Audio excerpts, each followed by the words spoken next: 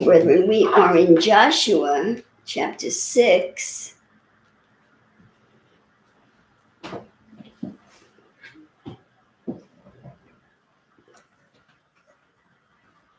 Joshua chapter 6 is talking about the conquest of Jericho. It's interesting because Jericho did come up in the message in the first session.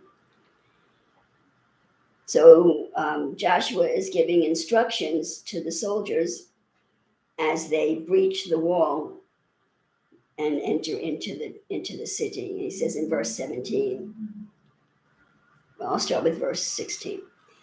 And it came to pass at the seventh time of the seventh blast of the trumpets, when the priest blew the trumpets, Joshua said to the people, Shout, for the Lord hath given you the city and the city shall be accursed, even it, and all that are therein, to the Lord. Cursed to the Lord, as far as the Lord is concerned, is cursed. Only Rahab the harlot shall live, and she's the one that has the red string on her hand. So only those that are living out of the blood of Jesus shall live. You can have the blood in you and not be living out of it. The blood of Jesus is the white drop. You can have the white drop, but if you're living out of the red drop, you're not covered. And if you're in sin, if you're in sin, you're living out of the red drop. Because what does it mean to be in sin? It means that you are in agreement with the red drop, okay, that separated from Elohim and became Satan and the devil, devil, which is your fallen nature and your carnal mind you're in agreement with your fallen nature and your carnal mind. So even if you have the white drop, you may be capable of preaching a great message, but your consciousness, your mind, your soul is married to the red drop if you have not given up the cursed object. So it's possible, it's a paradox that you can preach repentance and be in sin because you refuse to give up the accursed object. And the city shall be accursed, even it, and all that are therein, to the Lord. Only Rahab the harlot shall live, she and all that are with her in the house, because she hid the messengers that we sent. In other words, she's in agreement with the white drop, or the, the son and the daughter of the white drop, the, the that part of the five elements of the tetragrammaton that entered in first she's in agreement with them. She has she has rejected the thoughts and perceptions of the red drop, which is her own ego, and is embracing and in agreement with the thoughts and perceptions and morality of the white drop. So you can have both. We always have the red drop. We're born with the red drop. So having the white drop is not enough. You have to live out of it. And ye in any wise keep yourselves, brethren, and ye in it, because it's your city that's being breached. Okay? The mother and the father, the higher mother and the father representing the oh, how do I say this? The, the, the mother and the father are entering in. The father through esoteric doctrine and the mother through understanding is entering into your city, which is breaking up your city. What does that mean, breaking up your city? Okay it means that, okay, it's breaking up, okay, this goes round and round. When the mother and the father move in, okay, enter in, it means that Cain is reversing to Abel and the son of man is being born, okay, and the son of man is in agreement with the mother and the father, which is breaking up the unification or the marriage of your personality and the red drop. So the personality is supposed to be resisting the sins of the red drop. When you come in agreement with the sins of the red drop, which is your own mind and your own morality and your own justification, okay, okay, um, um, uh, then you are the city that's being, uh, you, you will be broken up, you will be destroyed with the city, okay? What's happening when you're in, in submission to Jesus is the white, is the personalities being liberated from the red drop and we are being changed internally and ultimately will be changed physically okay our body, our DNA will change and be able to live for hundreds of years when the fullness of the tetragrammaton is being revealed in this world through our city. It will change our DNA. Okay, just like Cain will change back to Abel as we agree with the the perceptions of the white drop and reject the perceptions of the red drop. And for a season, we can go back and forth. But as we agree with the perceptions of the red drop, the power of God starts to diminish in us. And we start to lose the anointing. That was Tony's dream of this morning, that the anointing was leaking, okay? The anointing was seeping out and leaking. And when you're in sin, you don't see this happening. You never you never see it until you wake up in the pig pen. But you start to lose the anointing immediately. Okay. What does that mean? It means that your agreement with the white drop is diminishing, your agreement with the red drop is strengthening, the, whatever you have of the Son of Man is, is, is dying, and you don't see it because of the of the pleasure that sin is giving you for a season. One day you wake up and the anointing is completely gone. So don't be deceived, brethren, that you think you're okay because you preach a powerful message today, because I have witnessed it in gospel revivals. An incredible outpouring of the Spirit. Okay? And the next day, gone. And it never came back.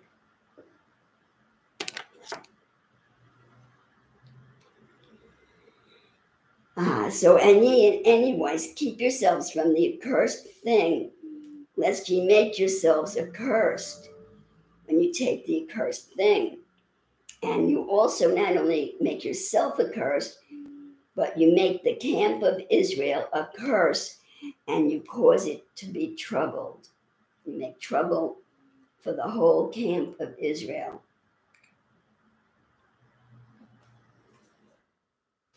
But all the silver and the gold and the vessels of brass and iron are consecrated unto the Lord.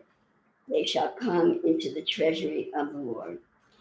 And so the people shouted when the priest blew with the trumpets, and it came to pass. When the people heard the sound of the trumpet, and the people shouted with a great shout, that the wall fell down flat, so that the people went up into the city, every man straight before him and they took the city. And they utterly destroyed all that was in the city, both man and woman, young and old, and ox and sheep and ass, with the edge of the sword. But Joshua had said unto the two men that had spied out the country, Go into the harlot's house and bring out thence the woman and all that she hath, as ye swear unto her. That's the personality that's going to be saved. And the young men that were spies went in and brought out Rahab and her father and her mother and her brethren and all that she had, and they brought out all with her out all her kindred and left them outside the camp of Israel. And they burnt the city with fire and all that was therein, only the silver and gold and vessels of brass and of iron they put into the treasury of the house of the Lord. So this kindred, Rahab is Rahab is the personality, and her father and her mother and her brethren. What that represents is the, is the red drop. Brother, when we when we reject the red drop and and submit to the Lord Jesus Christ, who is the white drop, okay, the, the configuration of our, our whole mindset breaks up and changes, our heart changes, and Cain becomes Abel. Mm-hmm. And the devil and Satan revert back, okay, to the to the holy red drop, and they flow to, and they flow together with the white drop. There's no communion or union between the, the, the spirit and seed of the white drop and the spirit and seed of the red drop when the red drop has its back to the white drop. But repentance on the part of the personality and submission to the Lord Jesus Christ forces the red drop, it, it, it, strips the red drop of its power. So it forces the red drop to turn around and face the Lord Jesus Christ. And then the spirit flows together and the sea flows together, and the Son of Man comes into existence. So that's what was saved for Rahab her whole city, her personality, and the red drop, and her body, her, their body, the body also. So when I talk about the body dying as a judgment, please don't misunderstand me. I'm not pronouncing death on anybody. We all die a natural death eventually. The person that will not die a natural death is the person that's different. And we may not know that we're in that state until we until we stay young and vibrant as our body ages. And they burned the city with fire Wow. And Joshua saved Rahab the harlot alive and her father's household and all that she had, and she dwelleth in Israel even unto this day, because she hid the messengers. She welcomed the white drop, which Joshua sent to spy out Jericho. And Joshua adjured them at that time, saying, Cursed be the man before the Lord that rises up and buildeth this city of Jericho. And that Jericho is in all of us. What could you turn that heat up a little for me, please? Thank you. Jericho inside of us is the city, is the spiritual city that comes into existence when we, the personality, agree with the with the perceptions, the thoughts, the justifications for our sin, of the carnal mind, which is Satan and the devil. We build a city. Okay, what does that mean? There's an offspring, there's a child that's born, and that child is Cain. And Cain buries Abel. And and we the whole turn our back on the Lord Jesus Christ. And that's what withdraws from us. I honestly don't know if it's it, I honestly, I, I know that the, the mother and the, and the father would withdraw. Whether the son and the daughter withdraw also, I don't know. I don't know, but they, they might because that was the dream this morning that the anointing was pouring out. And the Tony's dream this morning was that the water was leaking because the um, the device had fallen over, was no longer upright. Okay, is in sin, and um, and so he couldn't turn off, he couldn't stop the water from leaking. And then he remembered that there was a, a device in the attic. So he went upstairs. In other words, the person that Tony typified in the dream petitioned the Lord Jesus Christ to shut off the, to stop the, the dissipation of the anointing, but it couldn't be turned off because you can pray day and night, you can fast, you can do the whole nine yards nothing, God's ears are closed to you unless and until you repent. And repentance is witnessed to by the relinquishing of the cursed object, and nothing else will do. No begging, no crying, no strong tears, no fasting, no praying, nothing. You have to give up the cursed object. If you want to stop the loss of the anointing, which has already begun. Don't be deceived. Let me see it one moment. So, cursed be the man uh, before the Lord. What does it mean before the Lord? That word before it means in the personality of the Lord. Cursed be the man that's in the personality of the Lord. Cursed be the man that that is manifesting the the the, the, the image, not a physical image, but speaking the words and and, and manifesting the, the, the mindset of God. Cursed be the man before the Lord. And that Lord is, that's Tetragrammaton. Cursed be the man that's speaking the words of God and rebuilds that city, rebuilds his unification with the red drop. That's what sin is.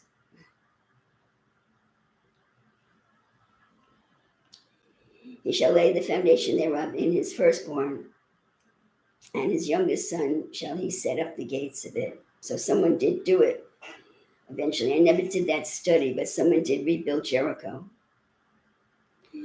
So the Lord was with Joshua, and his fame was noised throughout all the country. Okay, chapter 7, Joshua. chapter 7. But, but, after that great victory, the children of Israel committed a trespass concerning the accursed thing that they were warned about. For Achan, the son of Carmi, the son of Zebodi, the son of Zerah, of the tribe of Judah. So that's there were there were two twins, Pharez and Zerah. The monarchy descended from Pharez. This is the according to the scriptures, Zerah was born first. Zerah was born first. And then he was overcome in the womb by Pharez. And Pharez was born. Pharez put his, um, Zerah put his, as a, as a fetus, put his hand out. And then Pharez in the womb dragged him back in and was born first. Brother, we're all experiencing this. It's happening in us. Okay. Who's, who was born first? Abel was born first. But Cain overtook him pulled him back into the womb, pulled, pulled Abel back into the woman, is now living through all of humanity. See? And it's happening now as the white drop. And if you're a believer and the white drop has entered into your life, and you've seen signs and wonders, and, and you've known the power of God, and, and you recognize the word of God to come, the, of the word of God of the world to come, and you've tasted all of this goodness, and then you willfully sin you choose to sin. You, you, you, you're not seduced. You, choo- you choose to sin. Okay. What has happened is that Pharez in you okay, has pulled Zerah back into the womb. Cain in you has risen up and pulled Abel, put Abel under the ground, and Cain is now the predominant consciousness in you. And the fact that you can still preach a good message doesn't mean anything. Doesn't mean anything.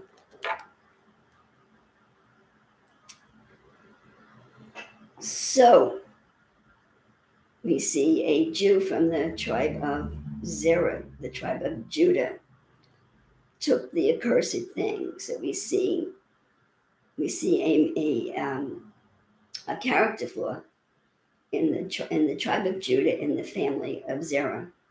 Now, obviously, there were character flaws in the tribe of Pharez, and we talked about that on Thursday.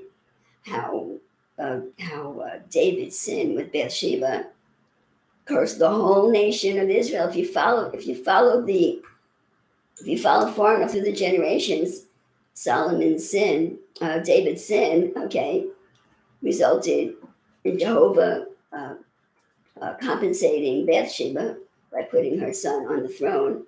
So a flawed, a flawed monarch took the throne to replace David. It ended in the division, in civil war, in the division of Israel into two parts and the ultimate destruction of the Davidic monarchy in the flesh. The destruction of the Davidic monarchy in the flesh continues in the Spirit through the Lord Jesus Christ. King. He's King. How is he King? Jesus Christ is King of the of, of the kingdoms. He's my King. You serve him. He's your King. He's a spiritual King, and he comes to dwell in me and sit on the throne of my heart. See, and that was how the, the, the, hearts of those men that were talking to Jesus on the road to Emmaus, their hearts were burning in them. What it meant was that the glorified Jesus Christ had entered into their hearts and was and was uh, burning with the with, boiling with the life of God. That's how he's king. And I told you, king, that's the tenth sefer. The tenth sefer called Malkut, the female. She's called king because she's the part of the Godhead that enters into the body. The tenth she is the part of the Godhead that enters into the body that sits on the heart. The heart. It manifests in your heart, but it's really in the unconscious part of your mind. And rules over the whole kingdom, which is the whole person. That's how he that's how he is my king. Okay. That's how he is my king. The tenth sefer of the Lord Jesus Christ dwells with me as a man dwells with his wife. So that's how he's my king. And I'm his city and I'm his kingdom. And he's promised all of the kingdoms of the world. And he will marry all of the kingdoms of the world. Because that is the will of his father. So a son from the tribe of, of the family of the tribe of Judah, the family of Zerah, took the accursed thing, and the anger of the Lord was kindled against the children of Israel. So I believe that's why Brooke perceived the man came into the building before I did today. Christ Jesus is covering the sin of this one person, or, or the wrath of God would be on the whole ministry.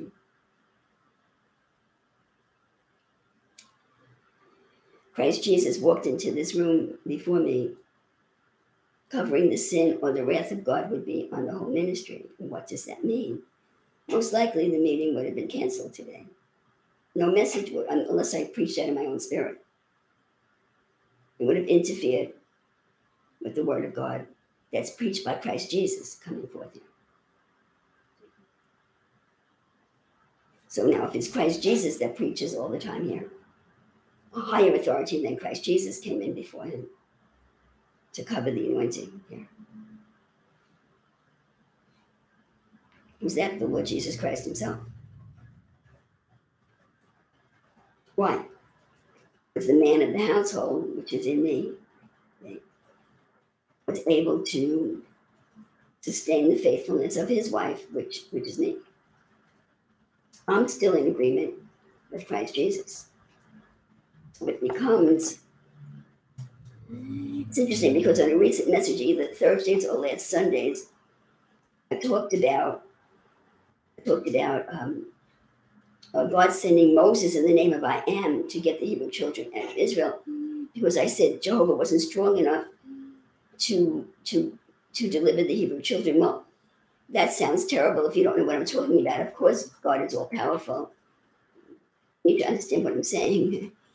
Jehovah in Moses, Jehovah in the people, okay, was overcome. Jehovah in the people was turned, okay.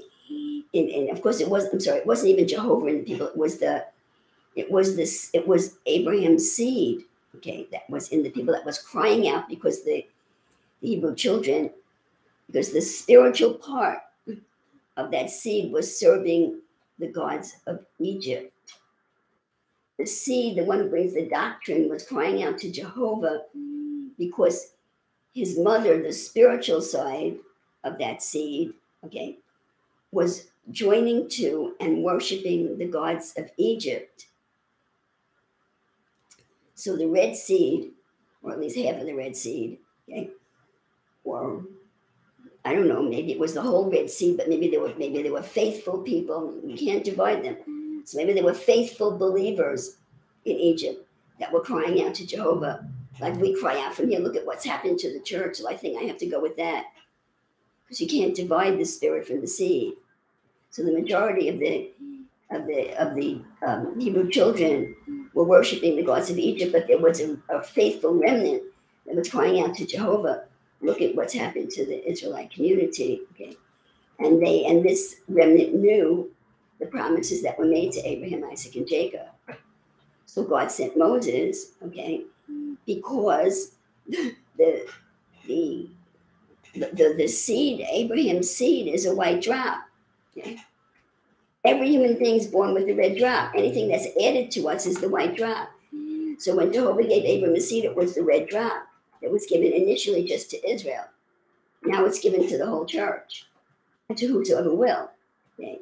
So it was Abraham's seed in the Hebrew children because their red drop, and in some cases the white drop, well, the red drop was the, the, the spiritual side of the red drop was given over to the gods of Egypt, and they had covered over the white drop. The white drop was not strong enough to rescue the Hebrew children that were unrepentantly worshiping the gods of Egypt.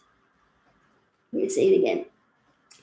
Abraham's seed and the majority of the Israelites, or the Hebrew children, I don't think they were Israelites yet, majority of the of the of the Hebrew children in Egypt had given over their red seed. Okay, them they had given over. I'm sorry, I repeat this in Jesus' name. They had given over their red their red seed. Okay, their humanity, their carnality, to the gods of Egypt, and the white seed that was present in them, the white drop that was present in them, was not strong enough to overcome that. Why?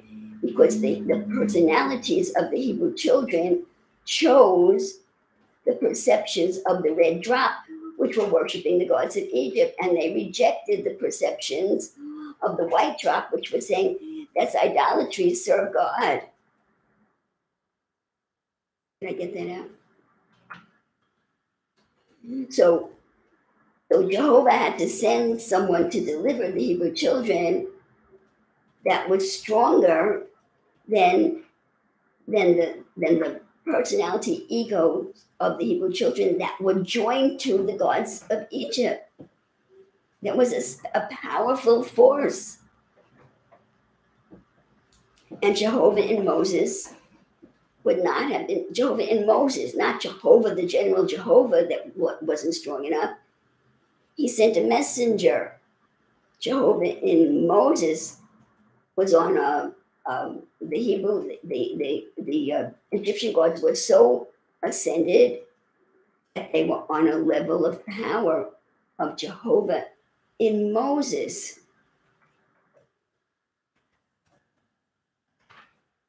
And Moses was headed for the battle in sin, taking his wife with him. so I am came and interfered, delivered Moses from his sin, gave him a higher anointing than the gods of Egypt. Were, that were the gods of Egypt were in the Hebrew children. So Moses went to Egypt and overthrew the spiritual power of the Hebrew children of the gods of Egypt and the Hebrew children. And how did he do that? He brought them under judgment. That, those were the Hebrew children that went under judgment, brethren. Those 10 plagues were for the Hebrew children that were worshiping the gods of Egypt.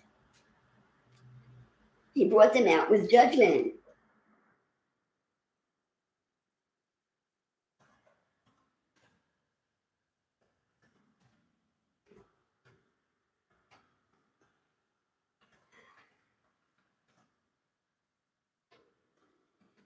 So Carmi, and so Achan, the son of Carmi, the son of Zeb, Zebdi, son of Zerah of the tribe of Judah, took the accursed thing.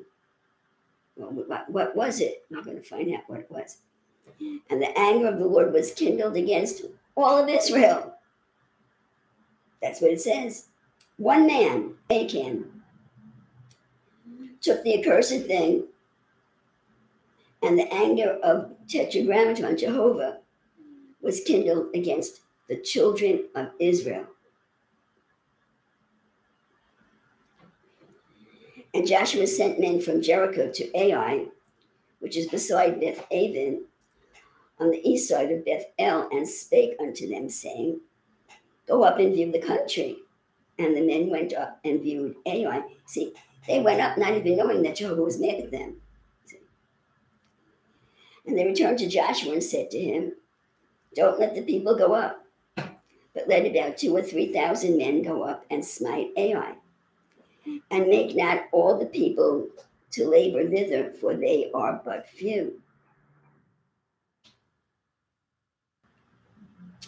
So they went up thither uh, of the people, about 3,000 men. And they fled before the men of Ai, so they received wrong counsel. What does that mean? Listen, listen, listen. And the anger of Jehovah was kindled against the children of Israel. Nobody knows it, see? So something has to happen to make us know that God's angry. And Joshua sent men, trusted men from Jericho, soldiers that just won this great supernatural battle to Ai. And he spake unto them, saying, Go up and view the country and bring back a reconnaissance report. What do we need to take the city? And the men came back, verse 3, and said unto him, We don't need the whole army. We don't need the whole army. Just, uh, we don't want to make the, The people labor and work hard, all we need is a few to take the city. And so they went up thither, thither the people, about 3,000 men, and they were defeated. They just had this incredible supernatural victory in Jericho, and now they're defeated in Ai. And the men of Ai smote of them about thirty and six men. They chased them from before the gate, even unto Shebarim. They chased them, they humiliated them. They didn't defeat them in a hand to hand battle, they chased them. The men ran. So now we see weakness in the men of Israel and fear of the enemy. Why? Because Jehovah's strength in them had leaked out or was leaking out and they didn't even know it, like Tony's dream.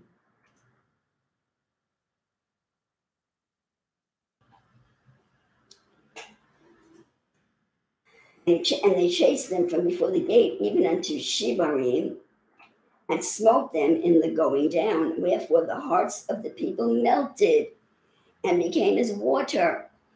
They were terrified. So that's Tony's dream. The water leaking out is the braveness and the boldness and the power of the Spirit of God leaking out, resulting in fear and defeat in the everyday battles of life.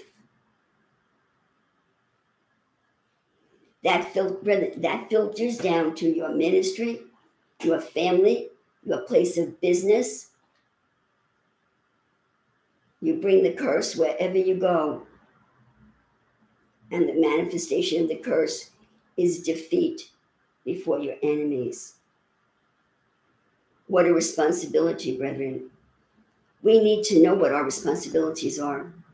We are not an island. We do not live alone. When we sin, we affect everybody in our lives, and in particular, the lives and institutions that we have authority over.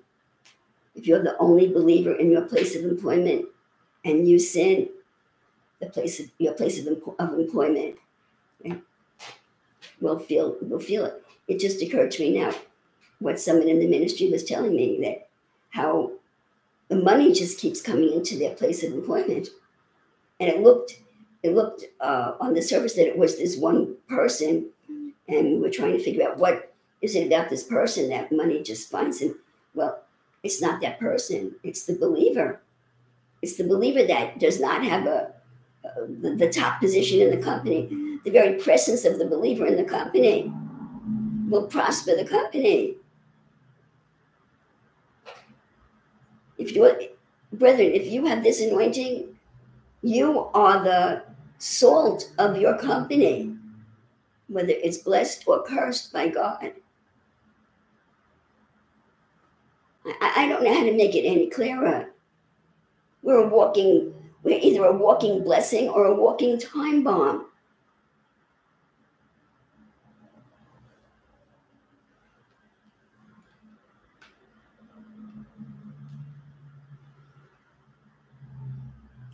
Sorry, my, my program closed. Please give me a minute.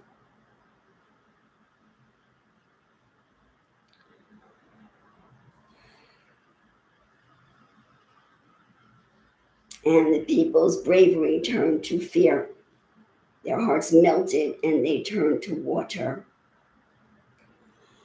And Joshua rent his clothes and fell to the earth upon his face before the ark of the Lord until the eventide, he and the elders of Israel, and put dust upon their heads. And Joshua said, Did he blame it on Satan? Joshua said, Alas, O Lord God, Alas, Elohim, Jehovah, why have you brought this people over Jordan? Why have you brought us to this high place in the Spirit to deliver us into the hand of the Amorites to destroy us? We were content with the Holy Spirit. We didn't need to come over into this esoteric doctrine. Why are we being destroyed in this high place? Would to God we had been content and dwelt on the other side of Jordan. Oh Lord, what shall I say when Israel turns their back Israel turns their back before the enemies. What has happened to these brave men of God? They've lost their guts, they've lost their power. For the Canaanites and all the inhabitants of the land shall hear of it, and shall environ us round and cut off our name from the earth.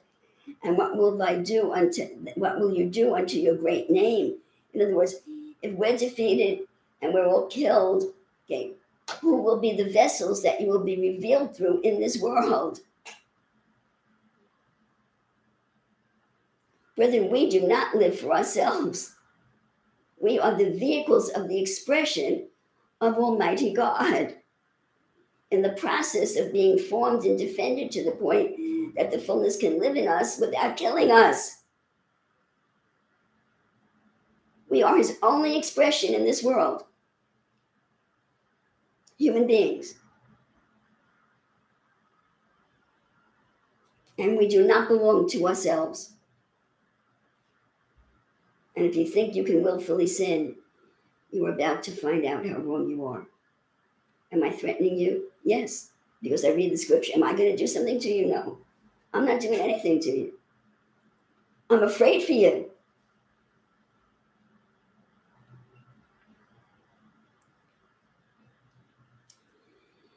And Jehovah said unto Joshua, Get up. Why are you lying upon your face? That's what he said to Moses when Moses stood at the Red Sea and didn't know what to do. Israel has sinned. And they have also transgressed my covenant, which I commanded them.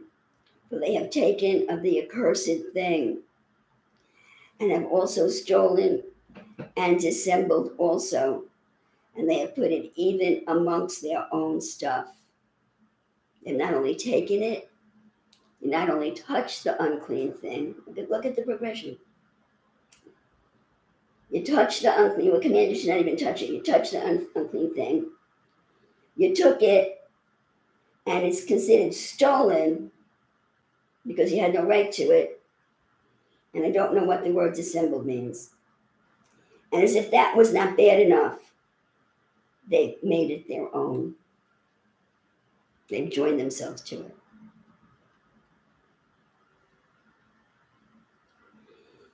Therefore, the children of Israel could not stand before their enemies, but turned their backs before their enemies because they were accursed.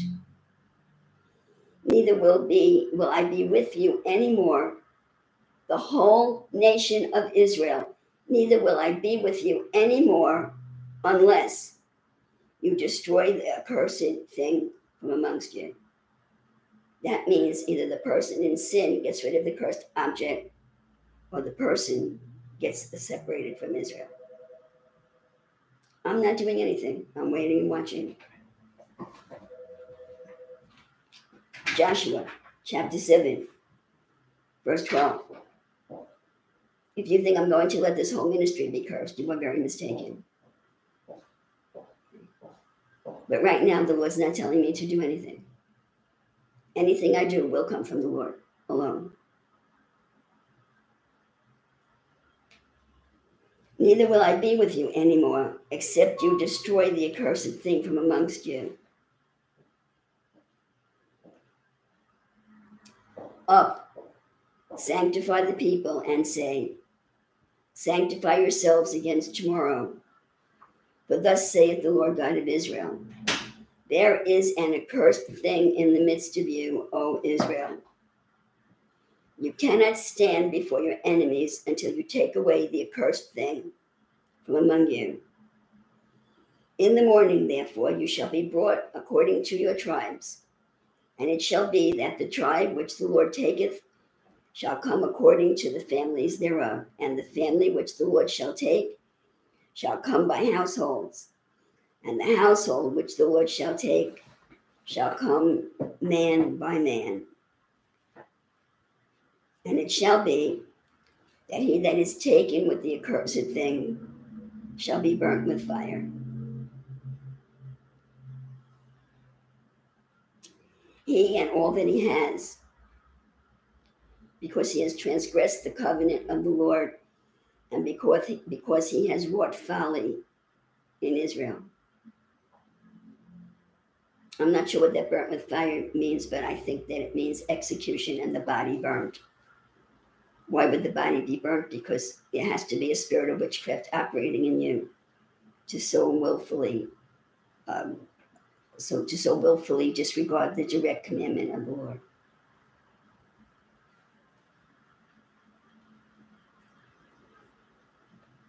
So listen, brother, this is not a baby ministry. I'm not doing anything. I'm reading the scripture to you. Do you understand that these things don't happen in the church today because the church is so far away from God?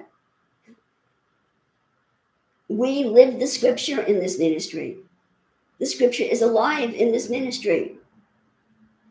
The judgment for touching the accursed thing, the judgment for touching what God has specifically told you not to touch, is death.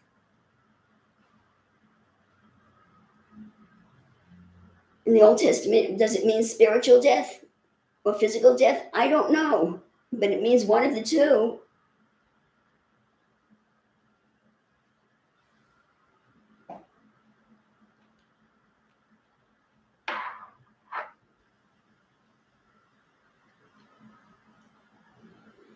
Joshua rose up early in the morning and brought Israel by their tribes, and the tribe of Judah was taken.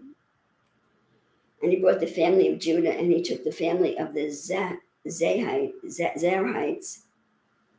the descendants of Zerah, and, the, and he brought the family out of the Zerahites man by man, and Zabdi was taken. This is all being done by the Spirit. That's how powerful the Spirit of God was in Israel with Joshua. This, this doesn't happen in your typical Pentecostal church.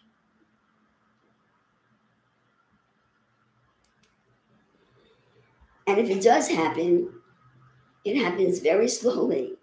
I saw it happen in gospel revivals. That church was alive with the most incredible experiences um, service after service after service, the most incredible manifestations of the power of God in that church. And it happened slowly. First, the anointing left. And then what happens is that you don't believe it. The people didn't believe it. I guess the pastor didn't believe it. I know one woman came to me and told me how depressed she was. And I asked her, Do you know that the anointing left the church? And she said, No, I didn't know that. So then, after the anointing left and the people started leaving, then the congregation got smaller and smaller. Then he couldn't afford to pay the bills anymore. Finally, he sold the building after a long time. To his credit, he wouldn't sell the building to a Buddhist temple. And he moved the, the ministry into his house. And then he died physically. And then his wife died. Too young in his 60s, I guess. Am I trying to scare you? You want to be Israel? You want longevity? We have to walk in the fire. Israel walks in the fire. We know the truth. That the church has no fear of sin. To walk to walk in this ministry and have no fear of sin? What is wrong with you? We'll see what the Lord does about it. We'll see what the Lord's going to do. I'm watching because I need to know. I need to understand. I need to know what to anticipate. Listen, the scripture says that the man under Moses' rule was was um, gathering sticks on the Sabbath. And Moses didn't know, either didn't know what to do or didn't want to take it upon himself to do it. Moses asked Jehovah, What do I do? He's violating the law that you gave me that I wrote down in the book. Do you think Moses didn't know what to do? The judgment was death, but he didn't want to do it on his own. He asked the Lord.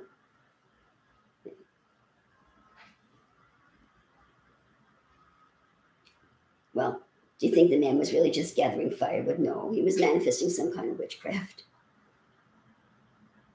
The higher we get, the less sin is tolerated. Now, in this in this dispensation, I, I don't my my opinion, if the, the, if repentance doesn't come forth and the cursed object is not given up, that the person will be separated from the ministry. That's my my opinion. But I'm not do I'm not doing anything. I'm watching and waiting for God to see what He's going to do. All that I know is that if I have anything to say about it, this ministry will not pay the price for that sin. If I have anything to say about it at all.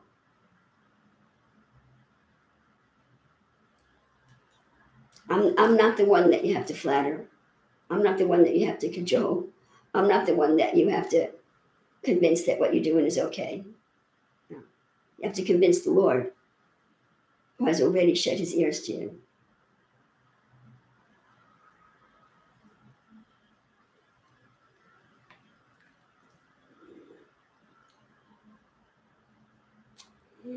And verse uh, 19, and Joshua said unto Achan, my son, Give, I pray thee, glory to the Lord God of Israel, and make confession unto him. And Joshua said unto Achan, my son, Give the glory to God. Would you come out of this rebellion? Give the glory to God and make a confession unto him. Tell him what you've done and don't hide it from me either. Don't insult my intelligence.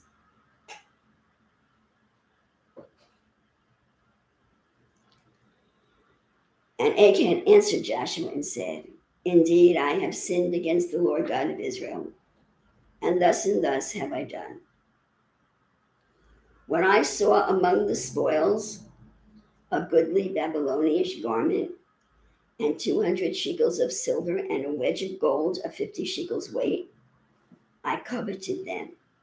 So we see that jealousy, covetousness, is the source of disobedience to God. There's something that you want that God said don't touch it, but you coveted it and took them. And behold, they are hid in the earth in the midst of my tent. I, I it's it's it's uh, hidden in, in, in your personality, joined to your personality, in the midst of your tent, which is your physical body, and the silver is under it. Your salvation is now underneath the sin. that which is in you, which is the lower part of the white drop that has the ability okay, to, to commune with God, is now under the authority of the cursed thing in your own mind. You've been overtaken in your mind by the cursed object.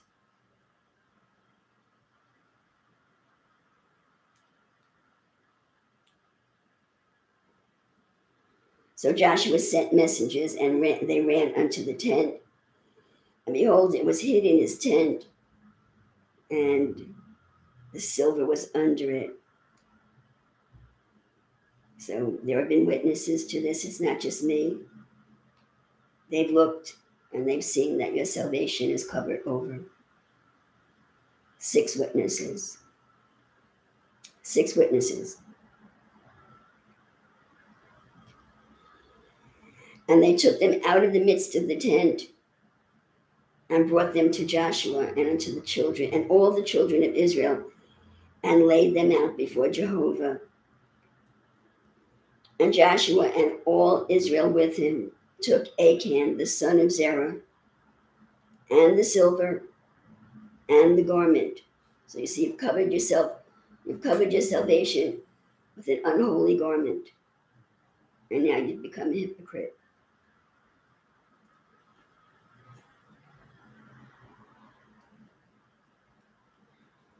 and the wedge of gold and his sons and his daughters and his oxen, the whole the whole family, the whole family came under the judgment, just like with Korah.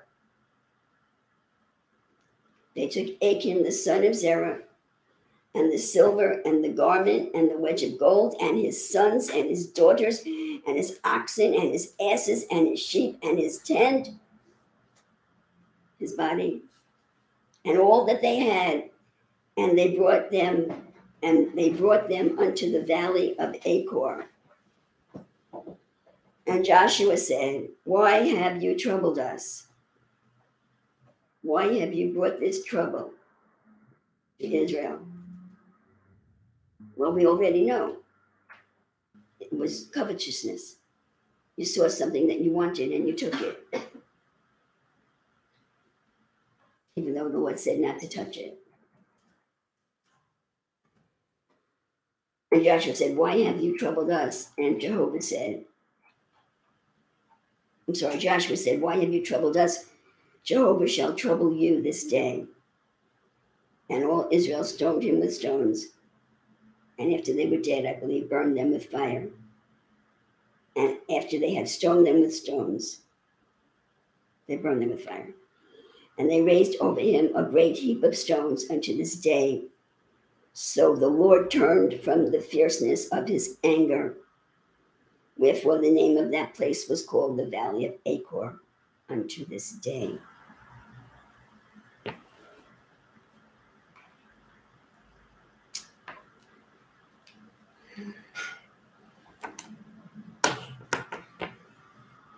Next, the scripture that I have for you is Genesis 25 31.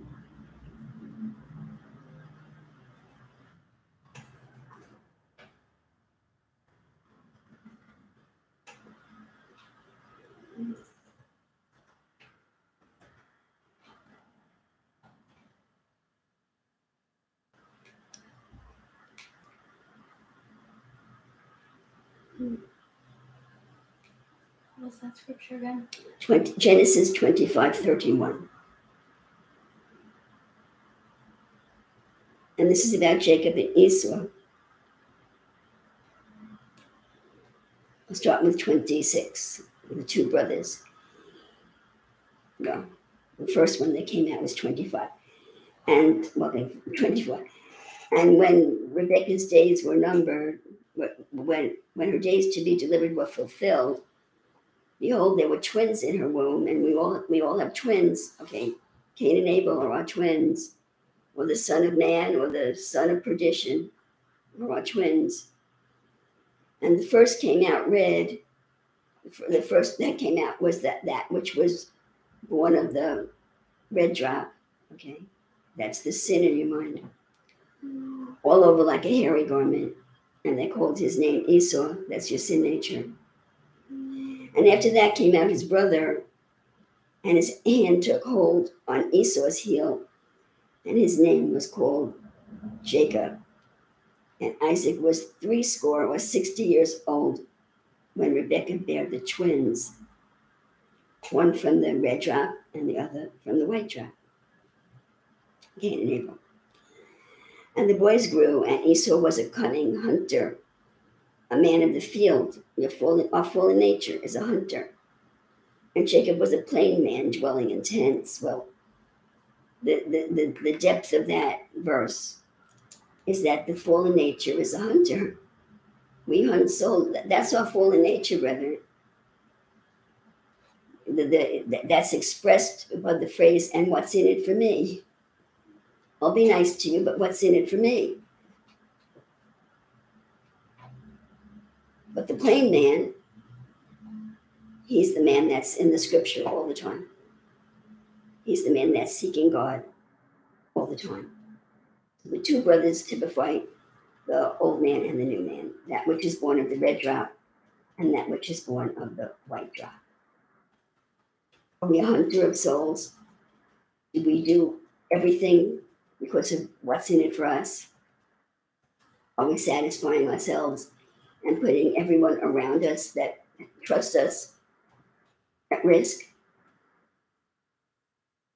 Are we a plain man? Seeks the word of God. Obviously, we go back and forth. Who are you today? And Isaac loved Esau because he did eat of his venison. What does that mean? means that Isaac was a carnal man. He preferred, he, had something, he was more in, had more in common with the man that lived out of his soul, that lived out of the flesh. Isaac was,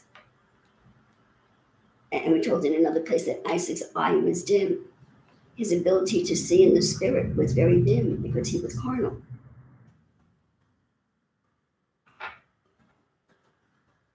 And he had a rapport, more of a rapport with his son Esau, because he did eat of his venison.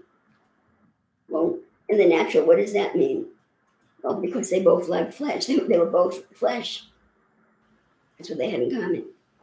But Rebecca loved Jacob. Rebecca had a soul tie with Jacob. And Jacob boiled pottage,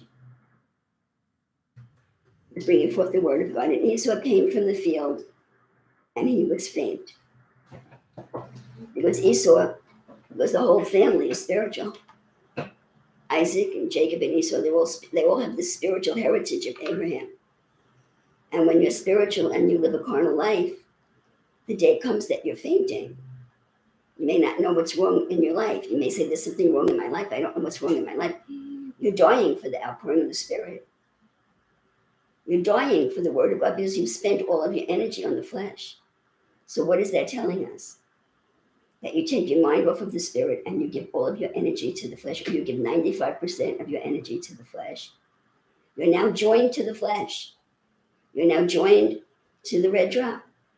You're given over to the red drop.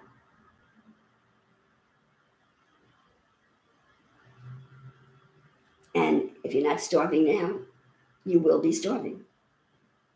At some point, at some point, you will realize that you're starving because you can't have both. See, you cannot move in the anointing and continue to possess the accursed object. You cannot have both. You think you can have both. You cannot have both. And if you don't believe that now, you will find out that you cannot have both. When you wake up in the pig pen, and I don't know how long that will take. This, this is the hour that the Lord is about to appear in this ministry. The whole world is on the tip of a pin, on the verge of great major changes in the world, in the church, in the individual, in this ministry. And this is the time you're going to go and find yourself. By the time you wake up in the pig pen, everything may be over.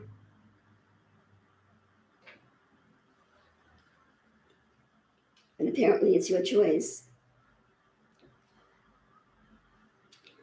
And Jacob boiled pottage. He brought forth the word of God, and Esau came in from the field, and he was fainting because all of his energy was given to carnal things. And Esau said to Jacob, Feed me, I pray you, with that same red pottage, for I am faint. And therefore his name was called Adam. Adam means red.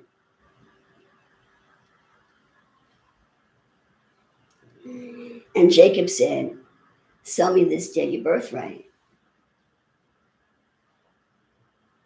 And Esau said, Behold, I am at the point to die. And what point shall this birthright do to me? I am in such pain and in such emotional need. I need to be satisfied now, here and now, right now. And what good does my heritage in the Lord, what good does my anointing do if I'm starving and cannot function in this world because of the pain that I'm in? Brethren, it's called Armageddon. That's Jesus on the cross. I mentioned it in session one. Everybody will not experience it in the same way, but we will all come to that crossroads where we will be in such a state of need that the temptation to satisfy ourselves with the things of this world will be very great. Why? Because we're dying to this world. We're the degree the, the degree to which the Son of Man is developed in you, if you if you if you're receiving this doctrine, he's at least begun to be born in you. Okay. He has risen up to the to the Father through this doctrine and is breaking to pieces your relationship with your own soul. And your own soul gives you perceptions and thoughts that are selfish. They're for you only, they're not the thoughts of God. So it's we have a desert experience. We all have to have the desert experience where we're starving. We're starving. I went for years with emotional starvation. We're supposed to feed on the Word of God. We're supposed to survive the pain. It's a crucifixion, it's a circumcision. It's the circumcision of our heart. It's the cutting away of the flesh. There is no circumcision without pain. And the circumcision reveals the, the life of God in us. The, circumcision reveals Abel. It's the resurrection of Abel. You cannot separate the resurrection of Abel from the circumcision or the crucifixion. The old man has to be, we have, we are codependent with our own fallen nature. Our personality is codependent with our own fallen nature. She comforts us. Well, you have to let go of her to be joined to God. You know what this is like? This is like the man or, or the woman who's uh, very unhappy in their marriage, and they say, well, I'll get someone else before I divorce. If it's a if it's a woman, if it's a man, I'll say, I'll get myself a woman. Okay. I'll get her on the side. I'll just be having an affair. My wife won't know about it. And when I figure out that she's the one that I really would like to replace my wife, you know, then I'll tell my wife I'm going to get a divorce. And on the day that the, that the judgment of divorce is final, I'm going to marry this new woman. Brethren, we're all going to face this if we're not facing it already. This walk is painful. Who will satisfy you? The flesh or God? Will you tolerate the wilderness experience to have the greatness satisfy you? Or will you find it intolerable and be the third person in Pastor Coviston's dream? He says, I can't bear it. I don't want to I don't want to bear it. Just let me die. Let me die to the anointing. Okay.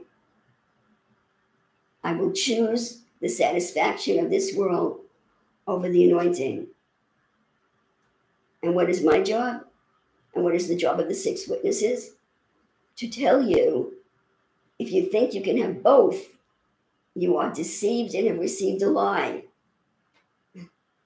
It may look like you can have both, but you cannot, cannot have both. If you will not let go of the accursed thing, you have made your choice, and the anointing will leak out of you until it's completely dissipated and you are spiritually dead.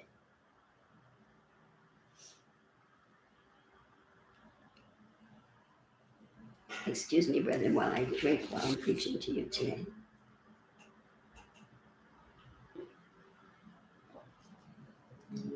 It's an illusion that you can have both.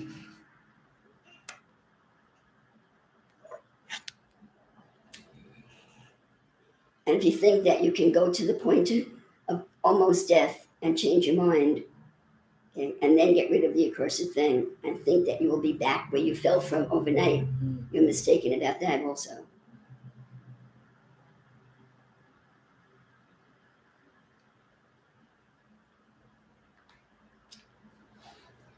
And Esau said, Behold, I am at the point of going to die. You're not going to die. You just think you're going to die. It just feels like you're going to die, but you won't die. What profit shall this birthright in Christ Jesus do for me?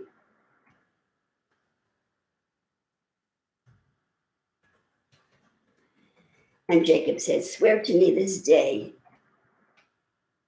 And he swore unto him and he sold his birthright unto Jacob. That's like the man that had the talent that he, he buried in the earth and he lost it completely. So your spiritual inheritance will go to the man with the word of God. See what it doesn't say in this account, because it's in it's in a parable form. What it doesn't say is that Esau had a choice. Esau's grandfather was Abraham. Abraham was still alive. And Isaac knew the word of God. See, what it doesn't say here is that Esau could have repented. He could have repented that he spent all of his substance on carnal things. And now he had a now he had suddenly had a spiritual need that that would not be satisfied by something like manna. In other words, he woke up. He woke up one day that he had a spiritual need. And and you have to start small. So we don't know what happened here, brother. I have to fill it in by by what the Lord's giving me and by what's in my heart. He woke up one day and he realized that he was a carnal man and that he was lacking spirituality and that this and he found out that this and he realized the spirituality was in the word and he wanted to get it all at once and he couldn't it was like the hebrew children in the wilderness with the manna it was just like a little mushroom they say you know i remember my father okay this is what comes to mind. I was already uh, working i guess. In any event i knew how to type it was before computers brethren and my father wanted to try to get uh, to take to get um, a promotion in his job, and he wanted to learn how to type. I said, "Okay, dear, this is what you do. Does anyone here know how to type? This is how they teach you. A, A, A. That's not an A. J, J, J, D, D, D. That's how you learn what the letters are. You know what I'm talking? About.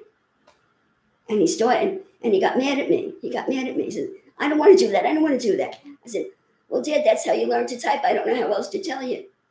And he got up and he wouldn't even try. He would not do it. He would not do the dot, dot, dot, dot, dot, dot. He wouldn't do it. He said, I'm dying. I feel like I'm dying. I realized that I have that I have this spiritual need. I didn't know I had a spiritual need before. And I think I'm going to die without it. And I don't have time to read the word. I don't have time uh, to to listen to four hour messages. I'm going to go and give up all of my spiritual substance just for immediate satisfaction. And although although Jacob was a holy man, this is manifested in the world in the form of going to the witch to get yourself satisfied. He could have repented, could have repented and thrown himself on the mercy of his father and his grandfather But he didn't do that. He said, I'm going to go to my brother. See? I won't, I won't ask my father and my grandfather for help. I won't admit my weaknesses to them. Okay?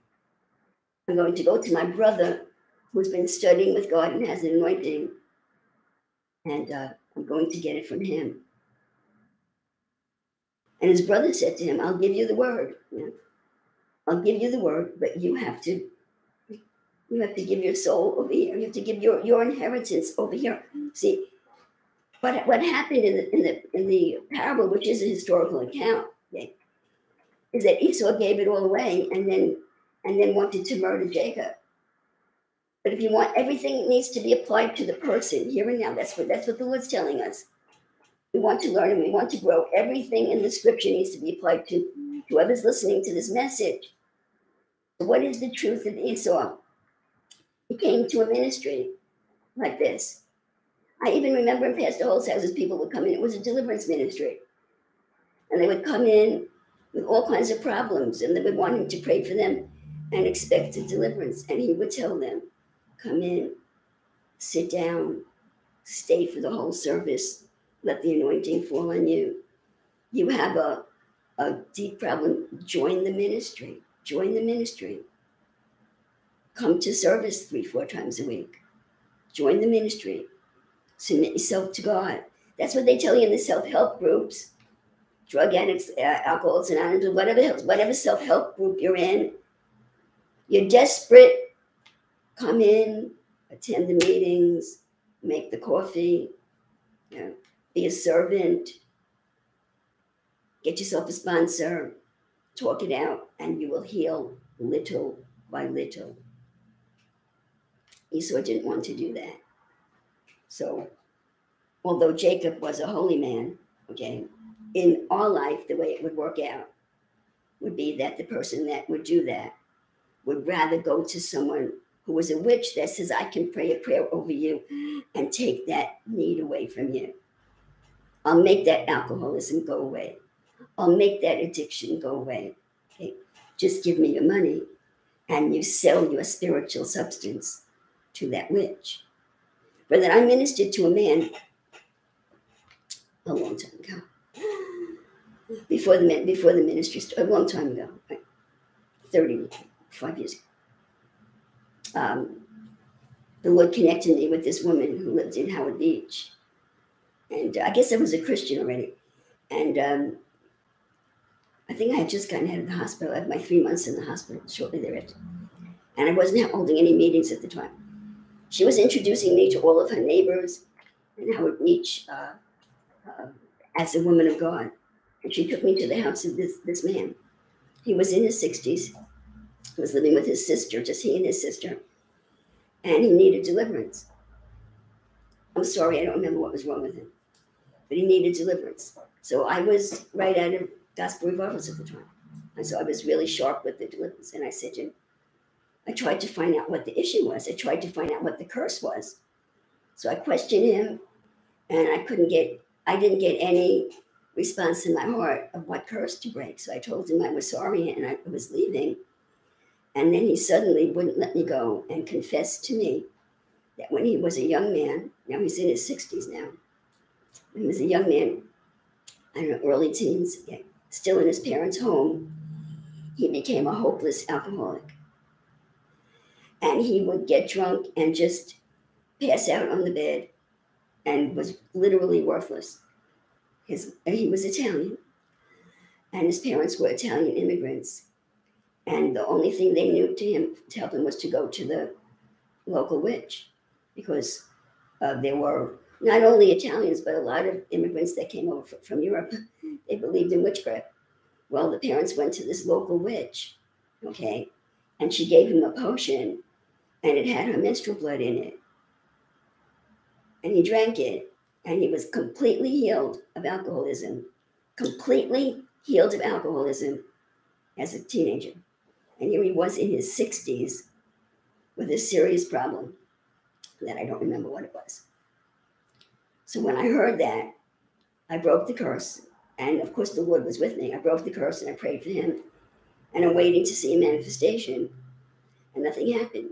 So I said, Well, I, I, did, I did all I could do for you. You know, I'm glad that you told me that, that you, you need to confess that that was a sin, that you healed, you took a healing potion from a witch, you know, uh, instead of going to the Lord. And, and he might have said to me, but I didn't know how to go to the Lord in those days. It doesn't matter. You went to a witch for a healing potion, and she gave you a drink with her menstrual blood, and you were healed instantly. And now it's caught up to you all these years later. And I've done all I could do for you. So I called him the next day to find out how he was doing. And he told me that he was up all night. He had a pot by the bed. He was vomiting all night, getting deliverance. It was a delayed reaction. So 40 years, 40 years later, that curse would would I don't know, I don't remember, I don't remember what was wrong with him. But he was delivered through Jesus Christ all those years later. So we have people, see, they want to keep their sin and they want power. So they go to a witch or they go to a ministry that does not require you to confess your sins. And they they want doc, they want doctrine. There are people that like doctrine. There are there are multiple uh, uh, uh, organizations out there that have esoteric doctrine that do not require you to confess your sins. Most churches today don't require you to confess your sins for the uh, whatever anointing is there. So Esau had an option. He could have subjected himself to his father, not his father, his grandfather, confessed his sins, endured the pain, and built up the, the, the power of God in him slowly. But he didn't do that.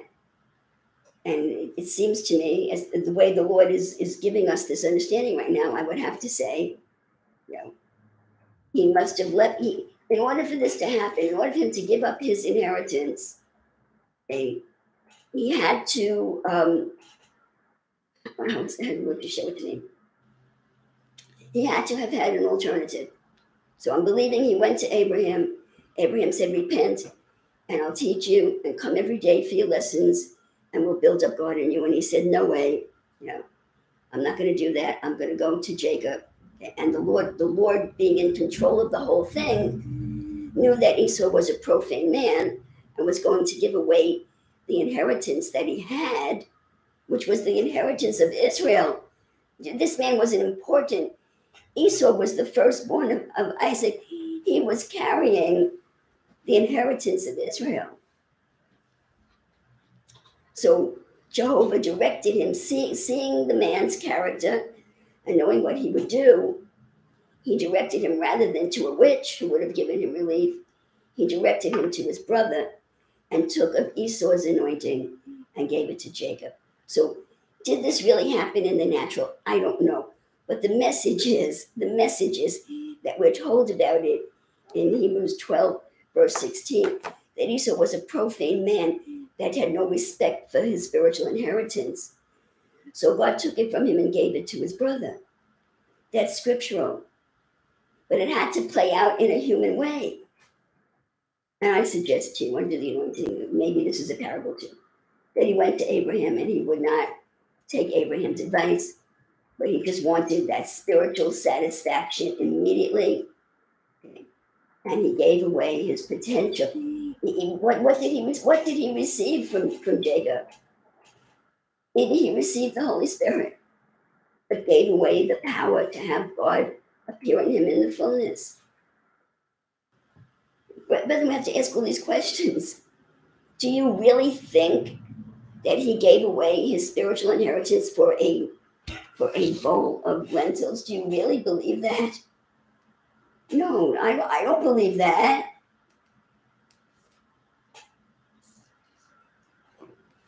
I don't believe that. The pottage that he took was red. He took from the red drop of Jacob. He took from the red drop of Jacob, the Bible scholar. He didn't take the esoteric doctrine. He took something that came out of the natural man. And Jacob got his spiritual inheritance. And the Lord was in control of the whole thing because he knew that Esau was a profane man. Let's read it in uh, Hebrews 12 16.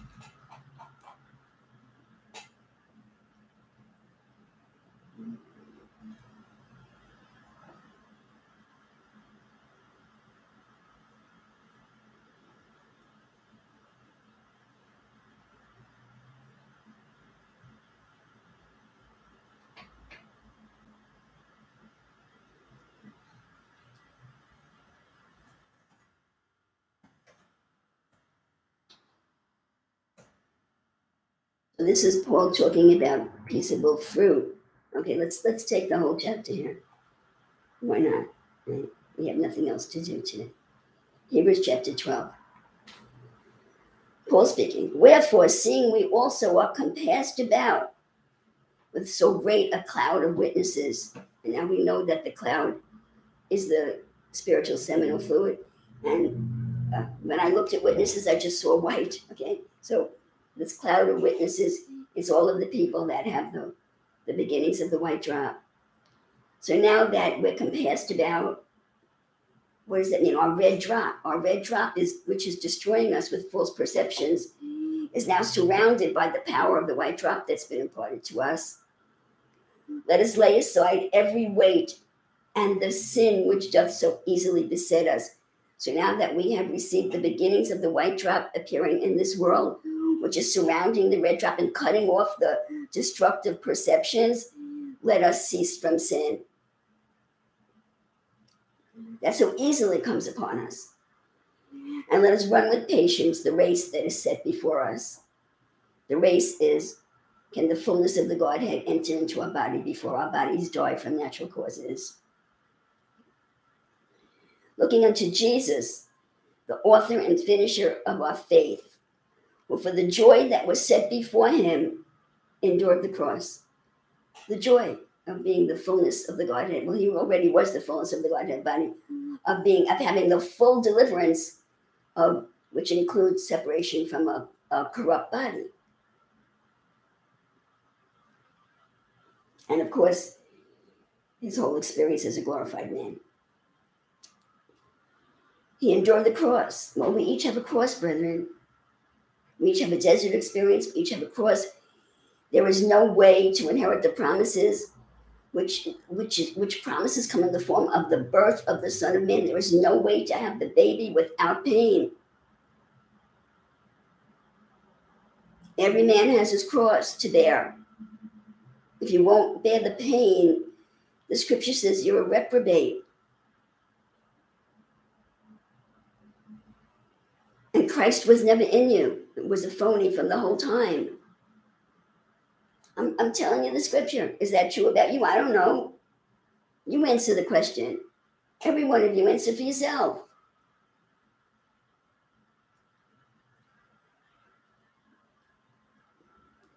He endured the cross, despising the shame, and is set down at the right hand of the throne of God.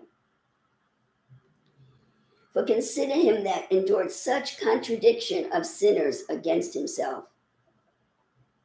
For consider him that endured such contradiction of sinners against himself, lest ye be wearied and faint in your minds.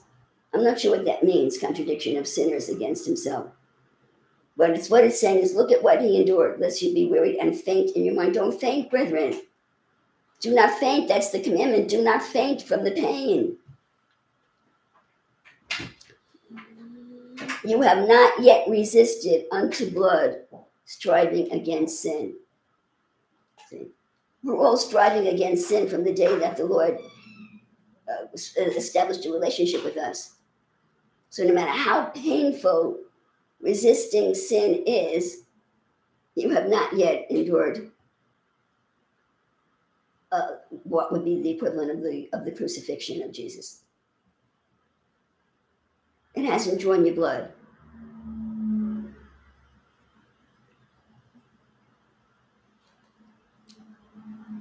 You have not yet resisted unto blood, striving against sin. So you think that it's killing you, you think you can't survive, but it's a lie. I, I only have one child and I had a cesarean section, but I'm told that women in the labor room curse their husbands. Some of them curse God. Yeah. I remember seeing my niece. She was beat up really bad, but she had the baby and it passed. Well, Sheila, how can you talk if you didn't have a natural birth? I had other issues, brother. I've almost died multiple times. And this, and you do, and the cesarean section is, is, is a surgery, but it's a different kind of pain. It's painful separating from our fallen nature. It's wonderful. We hear the word of God, we experience the Spirit of God, and we embrace Him gladly and with joy and what happens when you feel the pain.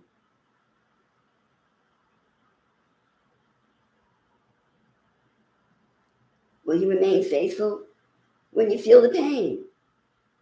Or will you receive the satisfaction of your fallen nature? Will you let the snake satisfy you? And you have forgotten the exhortation which speaketh unto you as unto children. My son, Despise not the chastening of the Lord, nor faint when you are rebuked of him. For whom the Lord loveth, he chasteneth, and scourgeth every son whom he receives. What that means is separating from your sin nature is no fun. If you endure chastening, because every pain that we experience is a chastening of the Lord. Now, you may have to be spiritual to understand that. It may look like your pain has arisen out of a condition that you had no control over.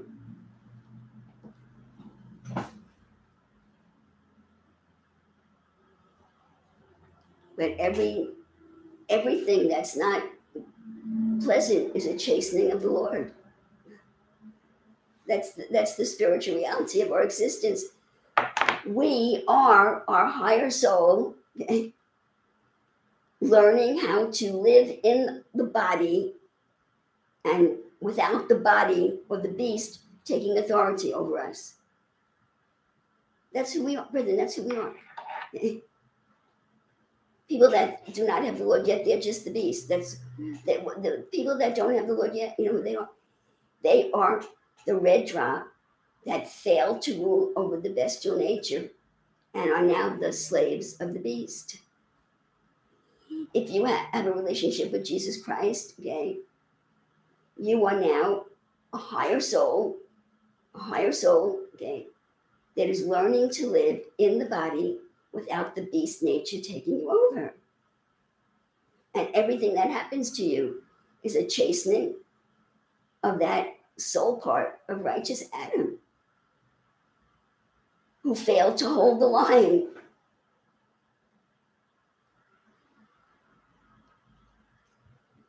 Every painful thing that happens to you is a chastening of the natural man who's living the existence of a beast because in the spiritual dimension, his potential to do otherwise, called the red drop, succumbed to the sins of the bestial man. Did you understand that? I'll say it again. Every painful thing that happens to us in this world is the result of the red drop, which every human being has, which is our potential to live above pain, having succumbed to the passions of the beast. It is the beast that is chastened. It is the bestial Adam that is chastened. The man rides the horse. He hopefully won't be too unkind to the horse, but you either pull on the reins or you you, you have to you know tell the horse which way to go. Touch him with your spur, touch him with a crop. It's the beast that is being chastened.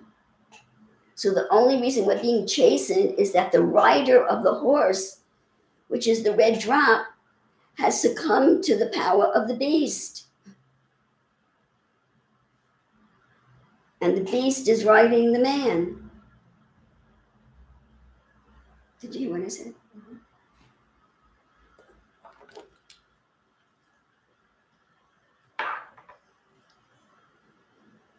If you endure chastening, God deals with you as with a son.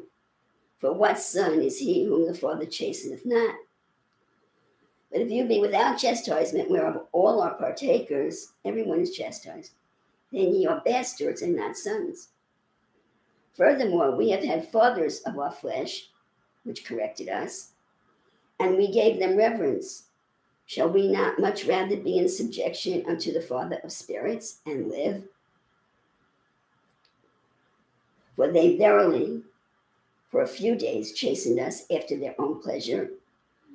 But he, for our profit, might that we might be partakers of holiness. Your pain is that you might be partakers of holiness. By resisting the pain and waiting in pain until God satisfies you.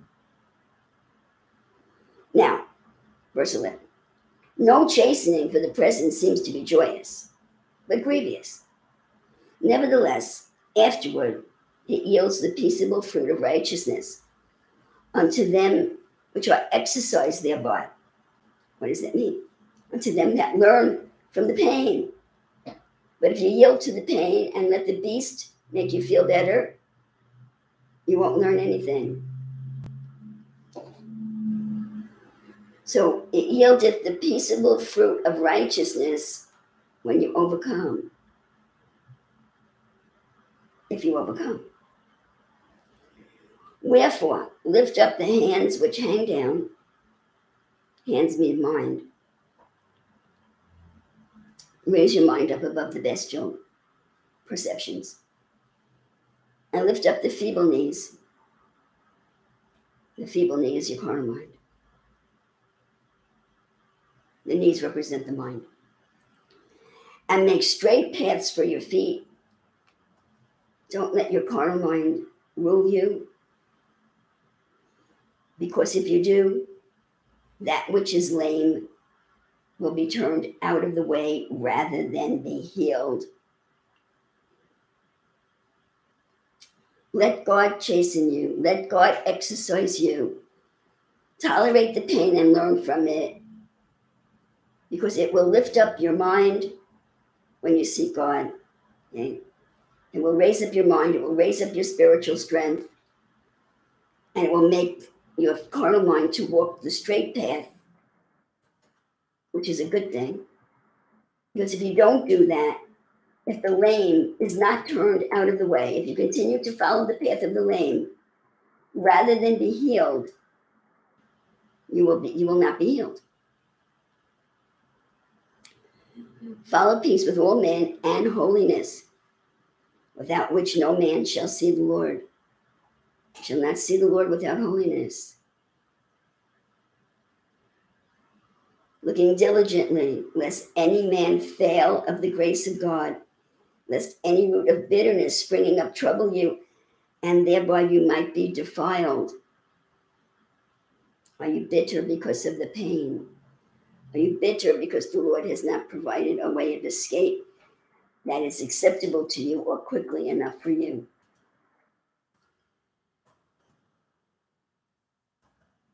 So do these things, follow peace with all men, lift up your hands, strengthen the feeble knees, etc., etc. Lest there be any fornicator or profane person, such as Esau, who for one morsel of meat sold his birthright. For one moment of satisfaction, he sold his birth, birthright for not willing to wait, not being willing to wait it out and letting God satisfy him. Because you know how that afterward, after he gave up his birthright, when he would have inherited the blessing, he was rejected. In other words, if he didn't give up his birthright, he might, might have received the blessing.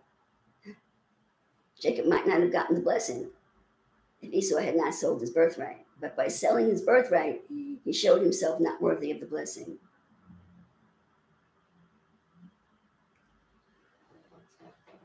For you know that afterward, when he would have inherited the blessing, he was rejected because he was rejected because he was rejected because he found no place of repentance. He was rejected because he found no repentance. Although he sought it carefully with tears, it was too late.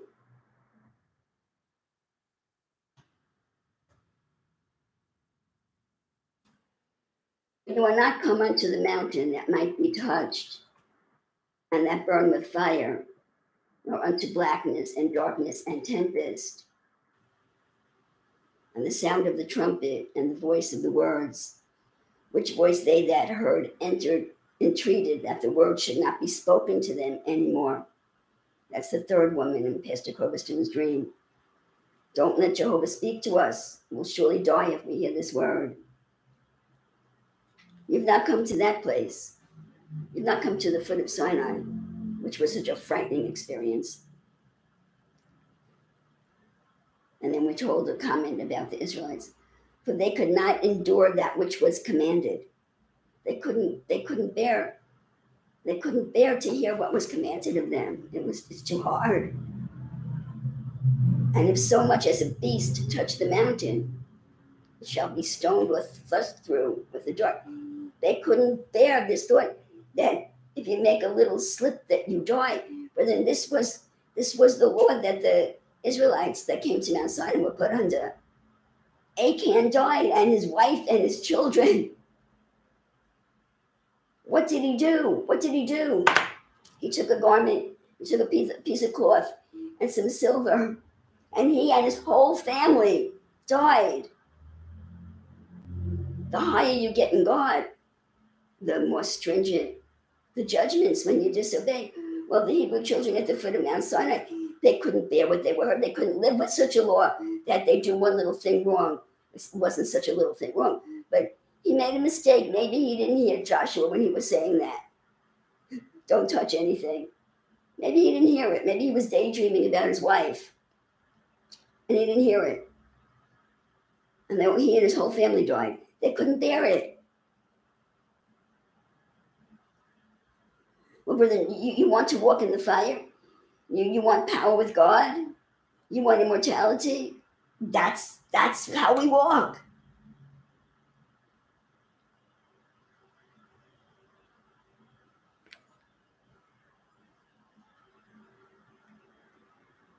And so terrible was the sight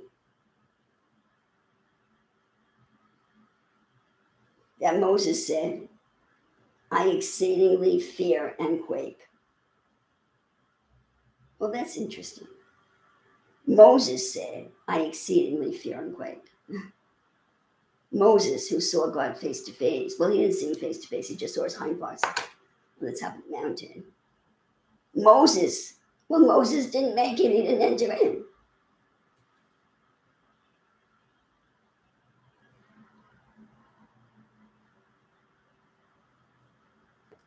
Have you no fear of God?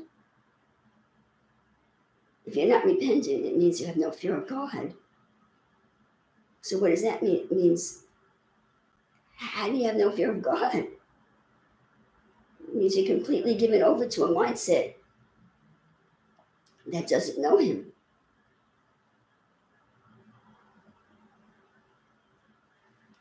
And then the anointing that you have had begins to leak away. But that's not for you, brethren. You come to Mount Zion. We're not, we come to Mount Zion and to the city of the living God. That's not you that you're going to be thrust through with a dart you know, and those severe judgments.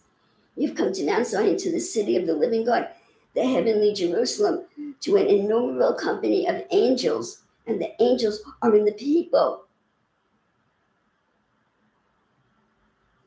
to the General Assembly and Church of the Firstborn. We have the Lord Jesus Christ to cover our sins and to get us through. Who can endure the law? No one can endure the law. Everybody dies from it. Whether every member of Israel, including Moses and Aaron, died because they could they violated the law. Who can keep the law? It, it can't be kept. You see. So here we are climbing into paradise. And we're all sinners. We're, we're, uh, we're all sinners. Our red drop is still manifesting in areas of our life. And yet we're climbing into paradise. We're climbing to, up to Mount Zion. And we don't have to shiver and shake and be exceedingly fearful of the judgments of God. All we have to do is repent. Esau repented, and it didn't do him any good. All we have to do is repent.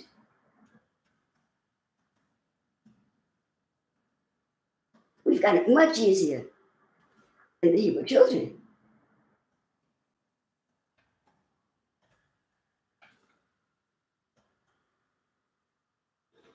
Have the General Assembly and the Church of the Firstborn. Jesus is the first one to be born out of death. To the General Assembly and Church of the Firstborn, which are written in heaven, and to God, the Judge of all, and to the spirits of just men to the spirits of justified men made perfect, to the spirits of Adam that are justified and made perfect, and those are the soul parts of righteous of, of the Lord Jesus Christ. And to Jesus, that's actually Christ Jesus, the mediator of the new covenant. Well, he's in, inside of us, he's Christ Jesus. And to Jesus, the mediator of the new covenant, and to the blood of sprinkling, that's Christ, his blood, that speaketh better things than that of Abel.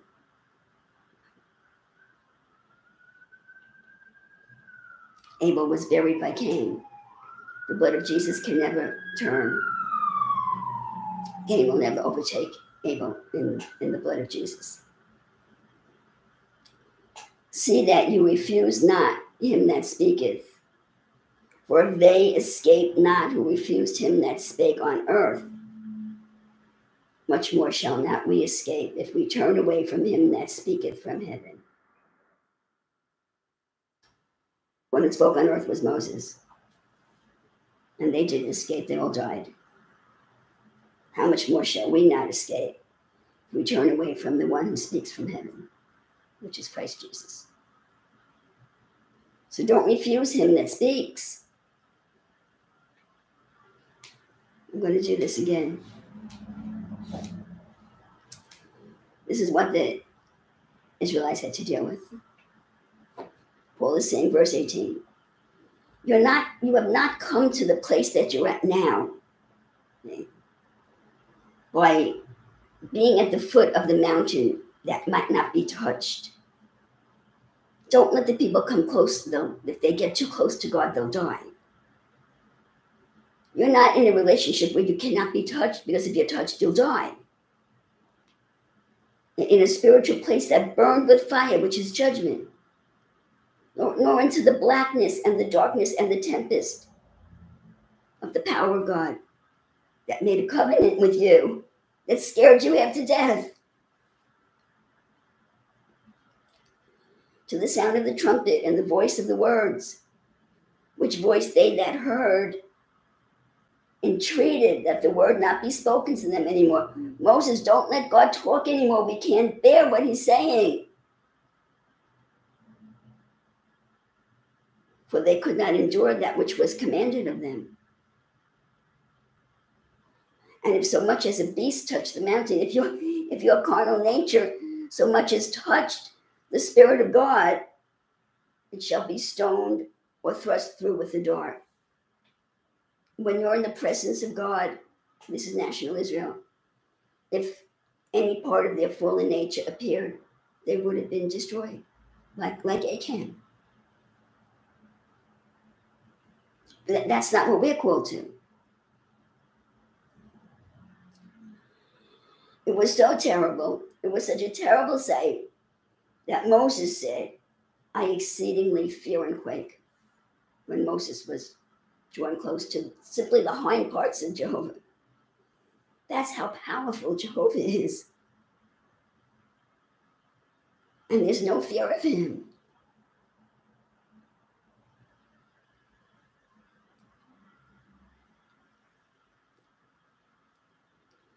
But that's not us today. We, we have a better testimony than Abel, who was overtaken by the beast. But you will come unto Mount Zion, unto the city of the living God, the heavenly Jerusalem, to an innumerable company of angels, that's the higher soul, Adam, to the general assembly of the church of the firstborn, that's, um, I, I, guess it's the, the, the lower part of the white drop in us,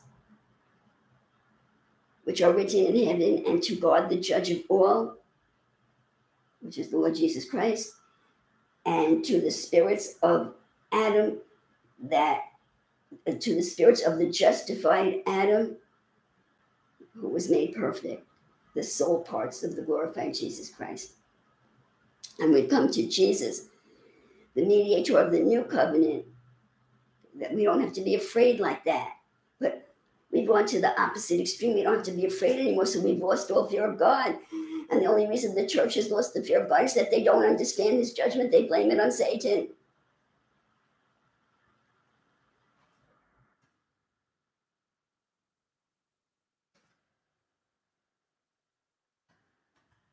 Jesus, the mediator of the new covenant, into the blood of sprinkling that speaketh better things than Abel. It's the, it's white, it's the white drop, Abel, that will not be overcome by the bestial nature. See that you refuse not the one that speaks. For if they escape not who refused him that spake on earth, Moses, much more shall not we escape if we turn away from him that speaketh heaven. Whose voice then shook the earth, but now he hath promised. His voice shook the earth with judgment, but now he is promised, saying, Yet once more I shake not the earth only, but also heaven. I will shake you physically, and I will shake you spiritually, and I will find out who you are. The judgment, the tests used to be in the flesh. All the tests were in the flesh. Touch not. Touch it and you die. Touch not. Today, the, the tests, the, the tests are in the flesh and in the spirit. I will shake your spiritual life. I will shake your agreement with the white drop. You, the personality that had been rejecting the red drop and embracing the white drop, you know, I'm going to shake that relationship. I'm going to bring you to a place where you will be so needy and the red drop will offer to satisfy your pain. And the white drop will say, I will satisfy your pain, but you must endure until I do. Will you leave the white drop? Will you be Esau? Will you sell your spiritual inheritance? Because once you do that, when you complete the act, okay, uh, if you will not give up the accursed thing, once the anointing leaks out of you, I don't know that you could ever get it back. I'm reading from the scripture. Once more, I shake not the earth only, but also heaven. And this word, yet once more, signifies the removing of those things that are shaken. If you're shaken, you're removed. As of the things that are made. If the, if the shaking shakes you off of the tree, the shaking shakes you off of the tree, you're removed. You think you can have both, you're totally, completely deceived.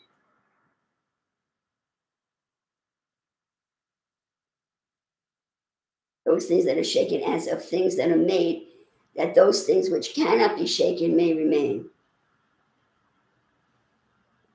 Wherefore, we receiving a kingdom speaking to our higher soul, the white drop, receiving us, the kingdom.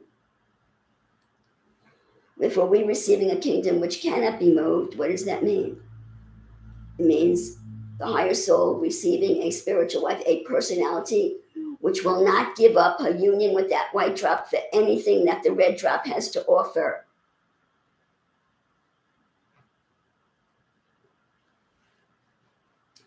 Wherefore, we, the soul parts of the Lord Jesus Christ, incarnate in the people, receiving a kingdom, which are the people, a personality and body. We are receiving a kingdom which cannot be moved. Are you a kingdom that can be moved? Or a kingdom that cannot be moved? Let us have grace whereby we may serve God acceptably with reverence and godly fear. For our God is a consuming fire. That's the mother, Elohim, that came down with the tongues of fire on Pentecost.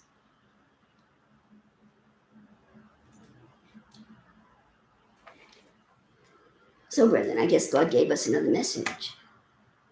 It's a serious day. Do you think that He's about to, is His near appearance in the earth okay, is not a serious day? I'm really excited because in Pastor Coverstone's dream, his dream, which is such uh, uh, an outstanding, obvious to me work from the Lord, says that there is a small group in this country that will cross over without the severe judgment that the rest of the church will go through, whatever that's going to be. And I believe that we're all candidates for that promise. It was a, another witness outside of this ministry, outside of me preaching. There was another witness that there is a crossing over and it's imminent. Don't be shaken off the tree and become Esau. Because once that happens, once that small group crosses over without the judgment, the only way to go over will be with the judgment. There, a door will close. I've been preaching that for a long time. It's in his dream. The doorway to cross over without the fiery judgment, whatever that's going to be. The door will close. His third dream is talking really about the, the ten virgins the five that have the oil and five that don't have the oil. So it's the Lord. Serious word, but how could it be any other way? Every one of us will be tested.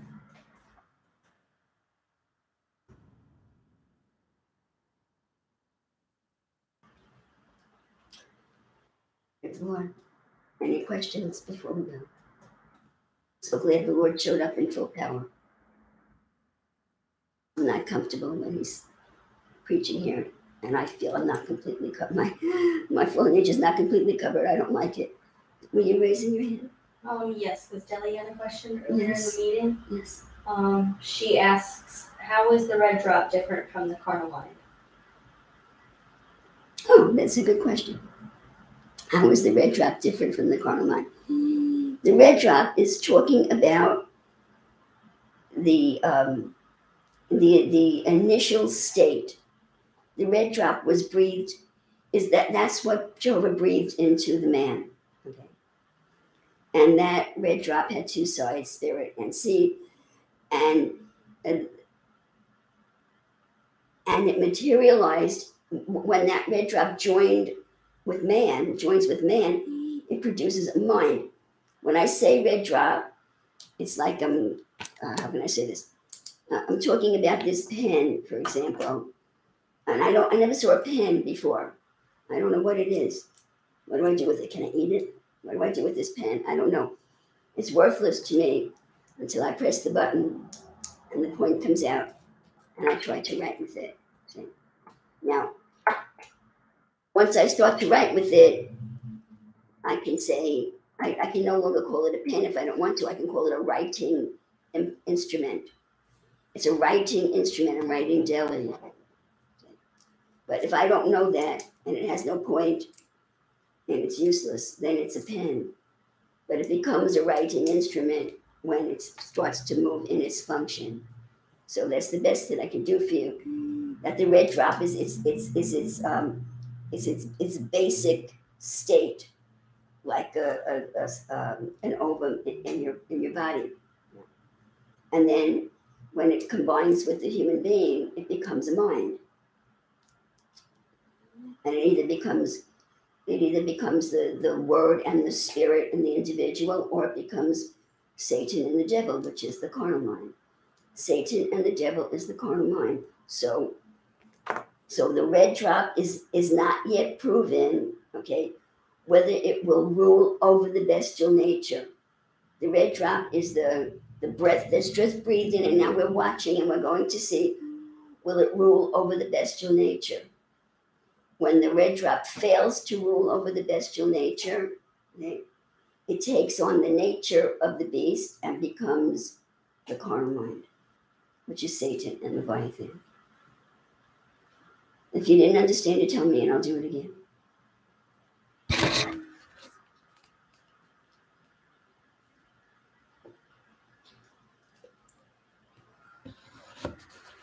Might take her a little bit to type in, so I'm delayed. Yeah. Um, Maybe I'll just do it again anyway for everybody. I'll just do it again anyway. The red drop is the is the is the basic condition of what is given to us from God. Then when it joins with the human being, okay, it becomes a mind. And the question is, will that mind submit to the mind of God and be a righteous mind? Will it turn its back on God and become the carnal mind? And what makes it the carnal mind is that it's refusing the perceptions of God. It's turned its back on God and the and it's giving its own perceptions to the personality, which is us. That's when it's a carnal mind. When it when it turns around and faces Jesus and admits that Jesus's ideas and Jesus's perceptions are superior and transfers Jesus's perceptions to the personality, then it's a righteous mind. Okay? When it stops doing that, when it transfers its own thoughts to the personality and takes and becomes the God of the personality, blocking the personality's relationship with Jesus, it becomes the carnal mind. Did she get it? I think so, because she typed in right when you started again. She said, "Please again, thank you." So I'm sure she got it. Okay, I think it came out better the second time. Um, there is a couple comments. Okay. Um, we have a visitor today. Um, the handle is Malik uh, Kushi Kushi Music. I'm sorry if I'm mispronouncing that. Um, but he said beautiful message. Thank you. And Tony typed in um, the meaning of disassemble. Oh, If what you is were looking for that at some point in the Yes, message, it says um, to hide under a false appearance, disassembling the facts. To be a hypocrite, in other words. Mm, Okay. Thank you, And- Tony. And then Rose at the beginning, um, she found uh, your comment in the video from Thursday that you were looking for. Oh, yes, what was it? God bless you, Rose. I, do appreciate you so much. She said, I asked the Lord to lead me to the place in the video where you mentioned what the church needs to believe to be fully saved in the flesh. It is at um, 43 minutes.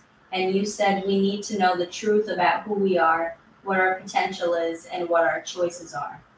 Okay, 43 minutes in which message, Rose?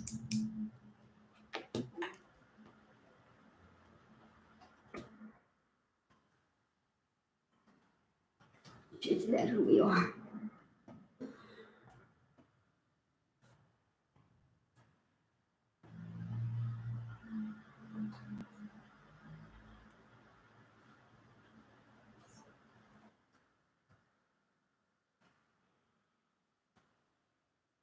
Um, session one, she believes. Which message?